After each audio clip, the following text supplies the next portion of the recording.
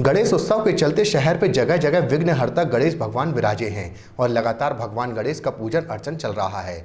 वहीं इसी के चलते रताल बढ़ई मोहल्ले में भगवान गणेश की महाआरती का आयोजन किया गया, जिसमें बड़ी संख्या में लोगों ने भगवान गणेश की महाआरती करते हुए उनसे मंगल कामना की। आपको बता दें कि यहाँ हर वर्ष गणेश उत्सव के दौरान भगवान गणेश की प्रतिमा स्थापित की जाती है, जिसमें गणेश उत्सव के दौरान लगातार दस दिनों तक लगातार पूजन अर्चन चलता रहता है। महाआरती के दौरान योगेश अग्रवाल और हिंदू महासंघ विकास खरे तथा न्यूज़ स्टार के सीईओ प्रदीप श्रीवास्तव उपस्थित रहे।